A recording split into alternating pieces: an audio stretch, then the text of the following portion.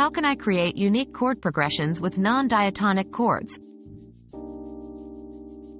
To create a chord progression using chords not in the key, start by understanding the basic diatonic chords of your chosen key.